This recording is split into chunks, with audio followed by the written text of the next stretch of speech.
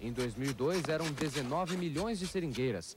Em seis anos, o número subiu para 36 milhões de árvores. Todos os países tradicionalmente produtores consideram o Brasil o país do futuro em termos de produção, em, em termos de produção de borracha. Por quê?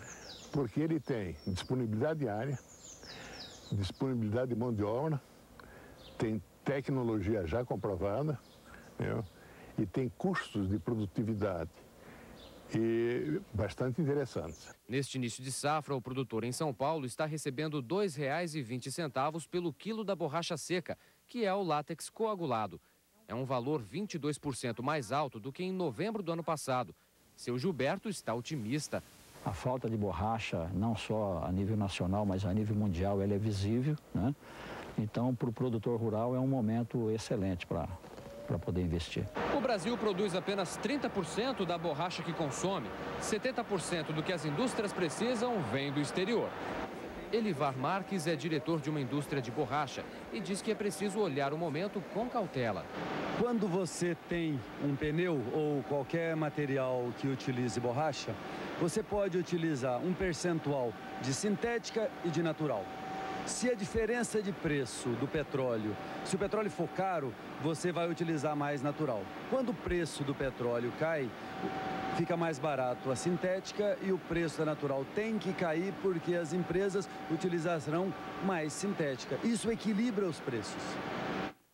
O barril do petróleo chegou a valer 145 dólares em julho deste ano.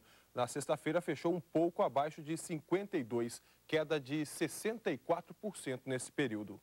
O presidente Lula assinou na sexta-feira o decreto que regulamenta a lei da Mata Atlântica, aprovada há dois anos.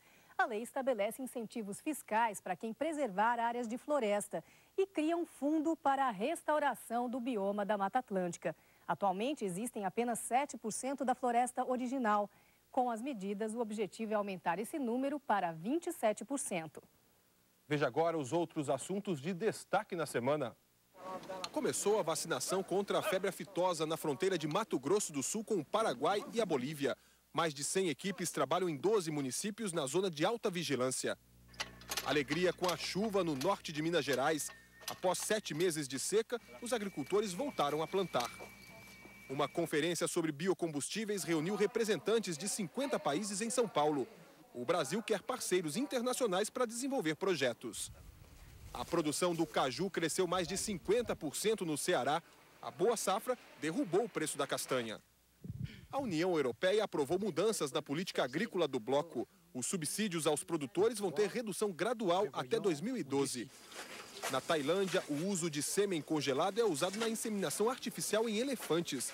O projeto tenta preservar os animais que naquele país estão ameaçados de extinção. A safra do centeio está terminando no Rio Grande do Sul. O rendimento agradou o agricultor. No Paraná começou a colheita da cevada. O grão tem compra garantida pela indústria da cerveja. Nós estamos colhendo uma produtividade recorde esse ano. O mercado do café permaneceu estável nesta semana. Confira. Em Carmo do Paranaíba, Minas, a saca do café